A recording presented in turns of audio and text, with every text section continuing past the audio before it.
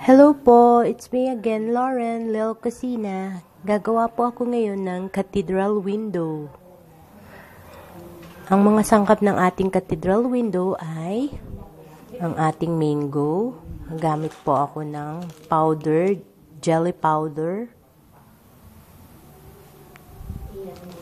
Ayan po, mango. Tapos ang ating orange. At ang ating kiwi, green, kiwi, at ang ating red is cherries, red.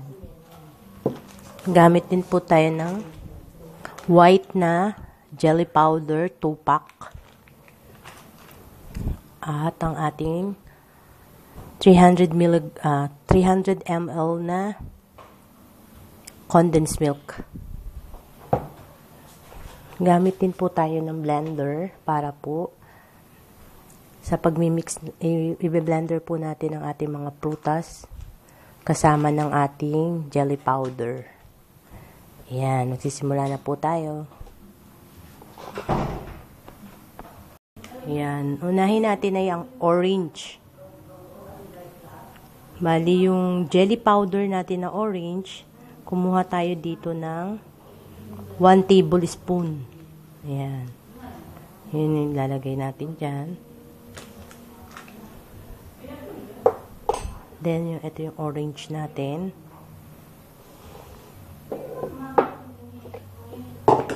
Pipigain natin dito.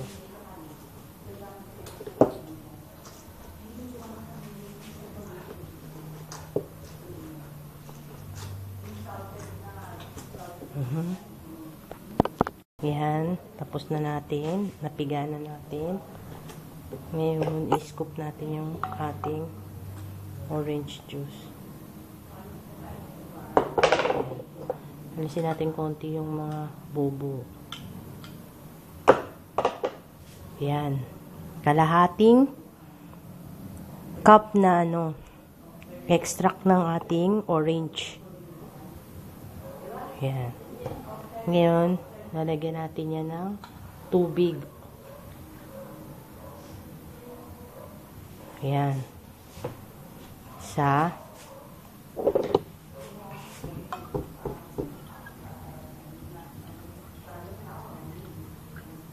dalawa yan 2 and 1 half na water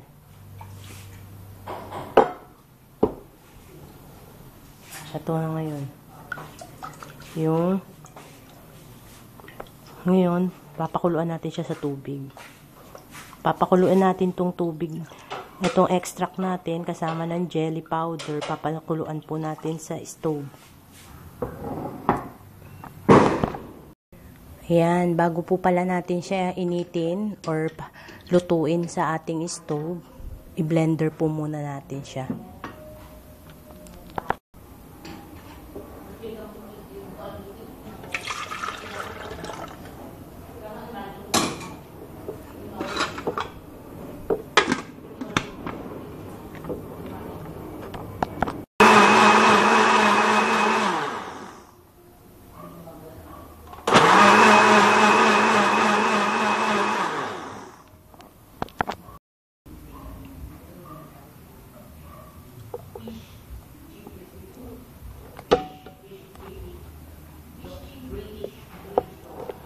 Ayan, ngayon, lulutuin na po natin siya ng mga 2 minutes.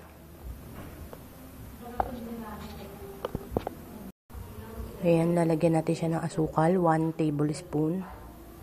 Tapos, haluin nyo po ng haluin. Pag medyo kum malapit na kumulo, tatanggalin na po natin agad yung ating gelatin or gulaman. Ayan, luto na po. Ililipat natin siya sa bowl.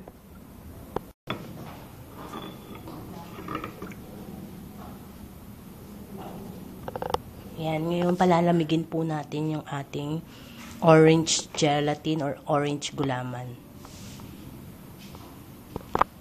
Ayan, susunod yung ating kiwi.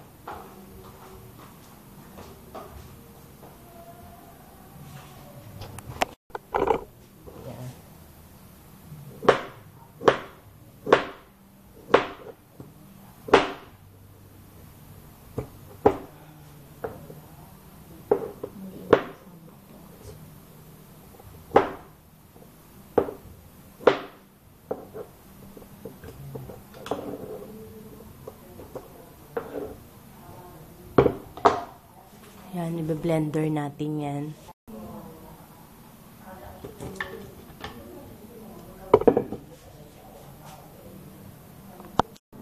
Ayan, lalagyan natin ng 1 cup na water. Ayan, yung ating kiwi.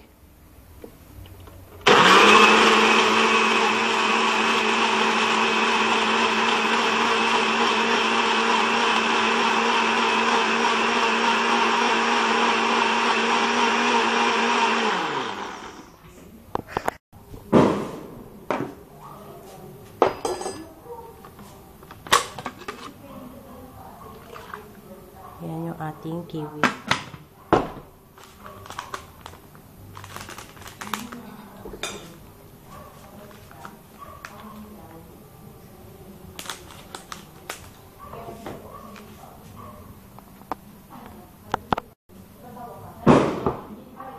Yan.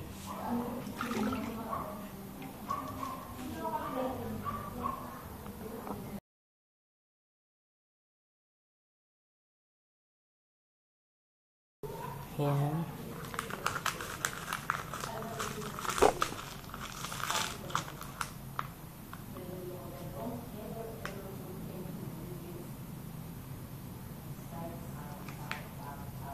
One tablespoon. Tapos lalagyan natin ng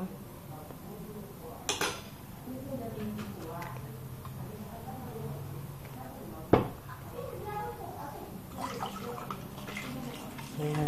Haluin niyo po agad kasi makukurta yung inyong jelly or magbubuo-buo siya. Magkakaroon siya ng lump. Kaya kailangan haluin niyo po maigi.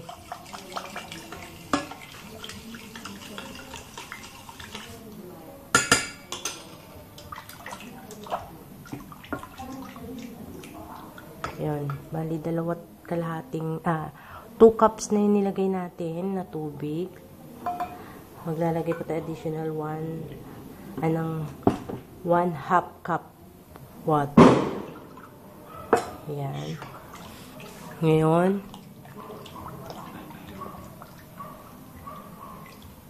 lulutuin na natin siya. O, teka, yung ano pala natin, 1 cup na sugar.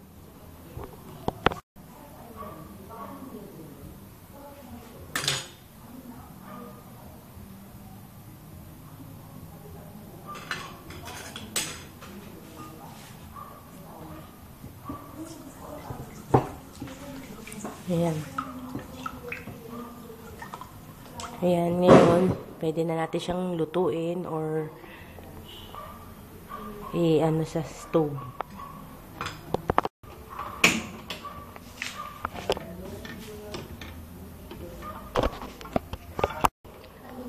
Ayan po, haluin lang po natin ang haluin. Hanggang 2 to 3 minutes po.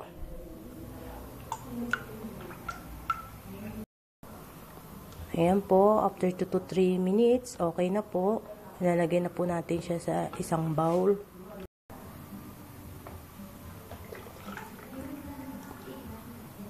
Ayan po. Siset aside muna natin, i-cool down po muna natin. Ayan, isusunod naman po natin ang ating cherry. Bi-blender po natin siya. Natanggalin natin yung water niya.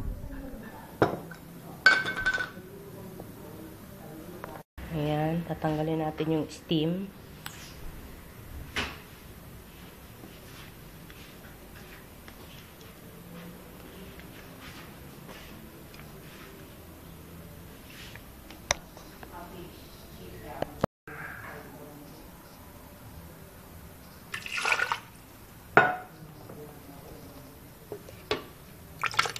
Yan, i-blender natin.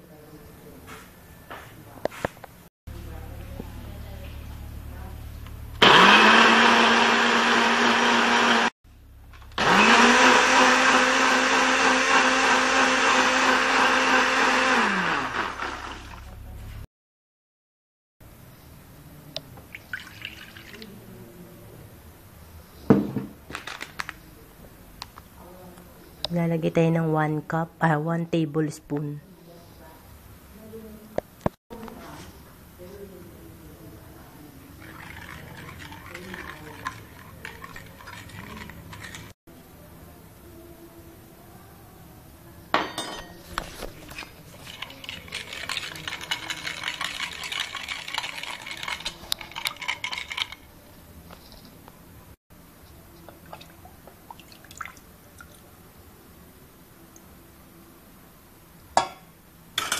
Ayan na po yung ating cherry. Ngayon, kung ayaw nyo po ng cherry, pwede rin pong strawberry. Pero yung sa akin ginamit ko po ngayon is cherry.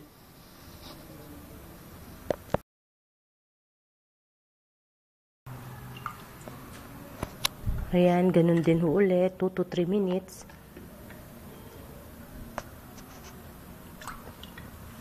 Tapos, i-off natin agad yung ating stove. Ayan po, after 2 to 3 minutes, okay na po. Off na po natin yung stove natin. Sasali natin siya sa isang bowl.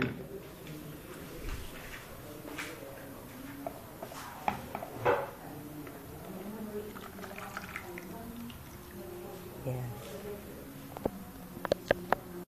Ayan. set aside po muna natin at i-cool down natin. Ayan, mango naman po.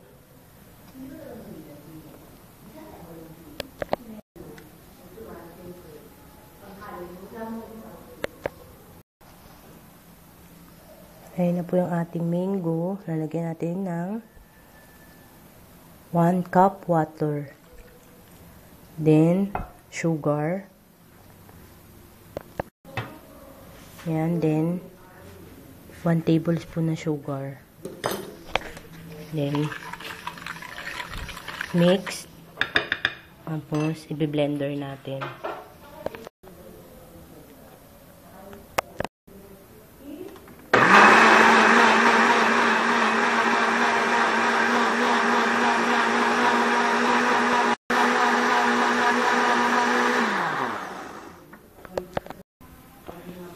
Ayan na po yung ating mango.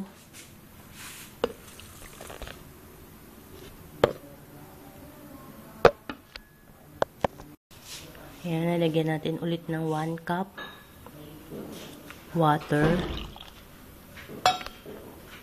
Hala, ano, 2 cups na po yan. Half cup pa pong water. Ayan, another half cup water. Bali, 2 and a half water na po lahat-lahat yan.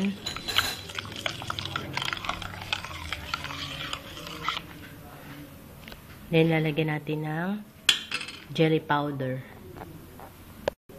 Ayan, yellow jelly powder. 1 tablespoon lang po.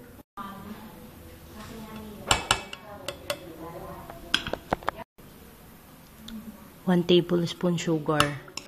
Then mix. Mix well po. Siguraduhin po natin wala siyang lumps or lump.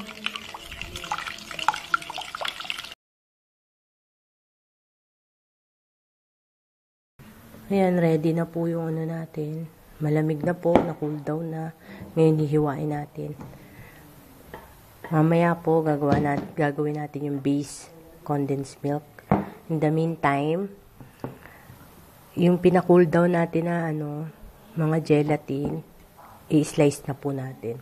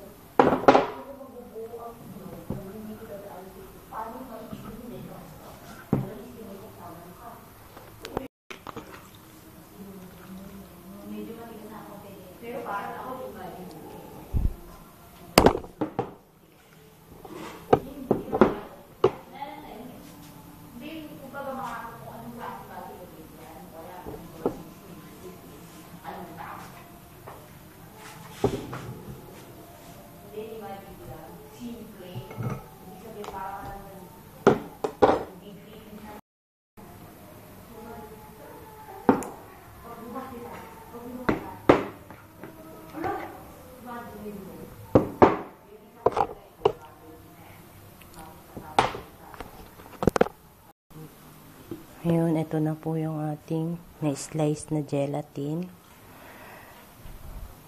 Seset aside muna natin yan. Gagawa tayo ng base. 1 can condensed milk, 300 ml, or 387 grams. Natin.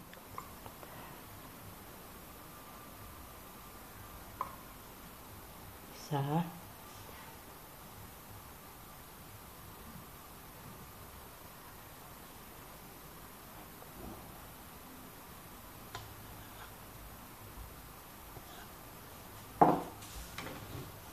Nalagay tayong tubig. Ito.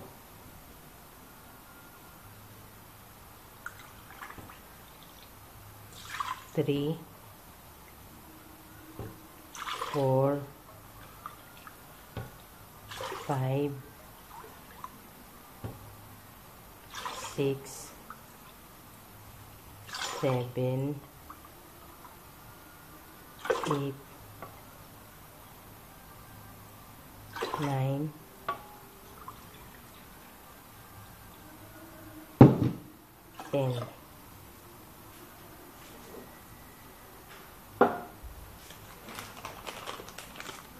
Gamit tayo ng tatlong jelly powder, yung white. White ang color niya.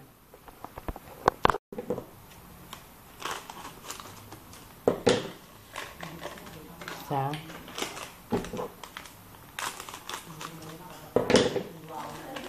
dalawa tatlo bali tatlo yung ginamit natin na jelly powder. Tatlong pack. 42 grams ang isang pack. 24 grams ang isang pack. 3 pieces ang ginamit natin. Tapos yung tubig natin is 10 cups na tubig. Kasama na po yung ating condensed milk doon.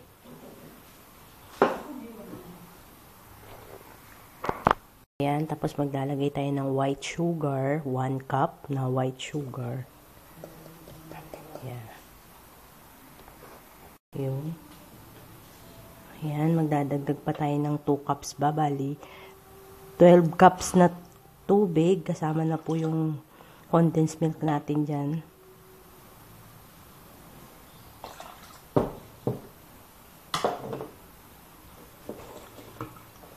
Yan, ngayon pakukuluan natin to.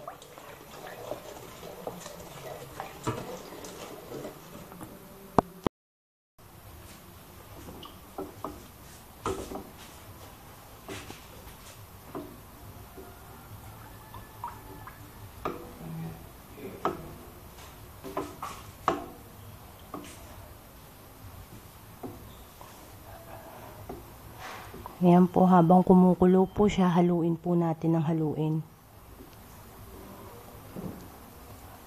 Para maiwasan po yung lumps o yung pamumuo. Lump o yung pamumuo po ng gulaman.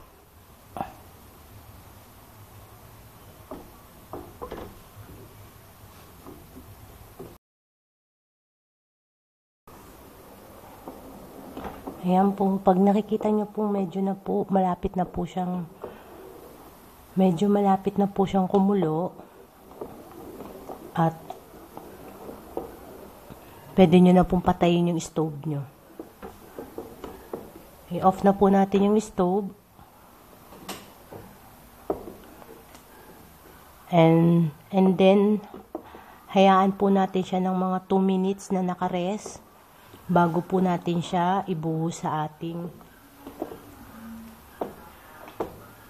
lanera.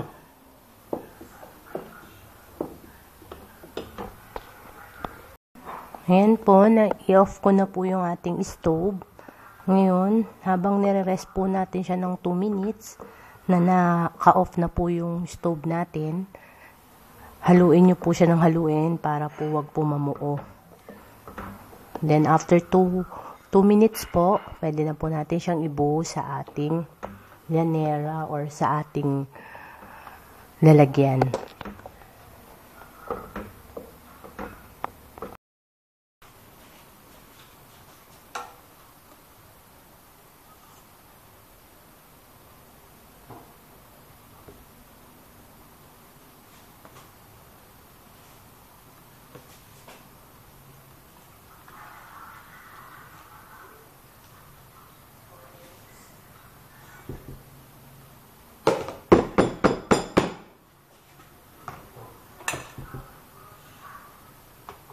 Yan, habang binubuhos po natin siya, ay medyo salain natin para hindi po masama yung buo-buo.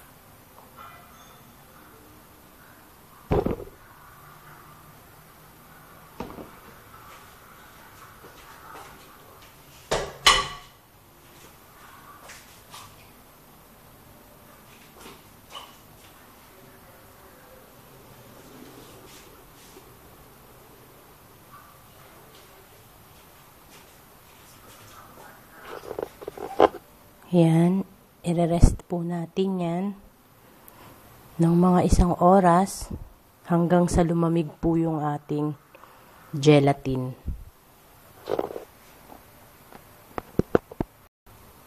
Ayan po, naisali na po natin ang ating base ng ating gelatin, ng base po ng ating cathedral window. Ngayon, mga 1 hour to 2 hours, hintayin po natin siyang lumamig. Saka po natin siya ipapasok sa ating refrigerator or ref.